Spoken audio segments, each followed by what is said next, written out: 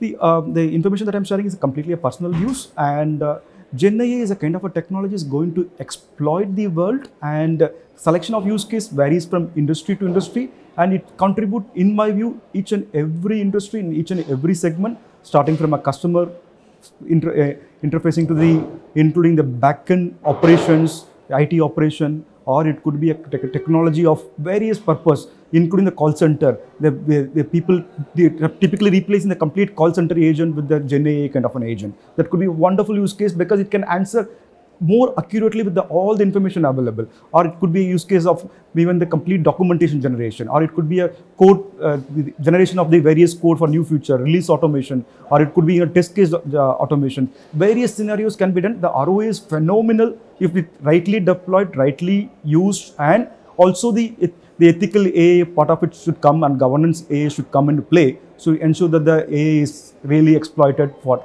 and the years to come, you'll definitely see such kind of the deployment coming in across industry, across verticals. That's my view.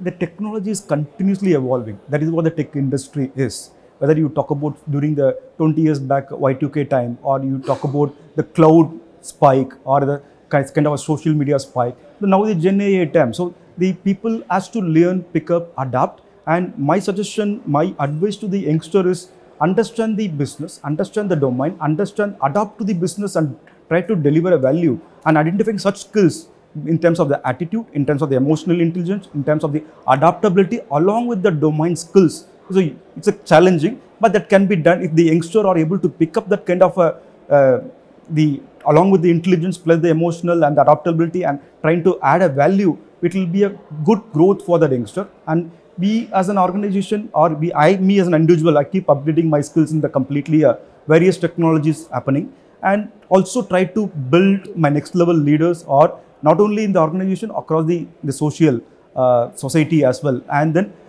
identifying and basically coaching, mentoring and then bringing that kind of a people to learn new skills, adapt new skills and then help making them to deliver as a value it's a kind of the leaders, the leaders to bring the next level leader and make them to deliver the business value. That's my view of it.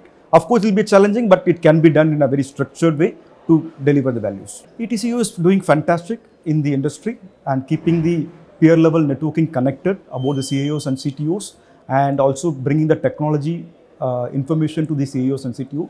Keep up your good work. Thank you for that.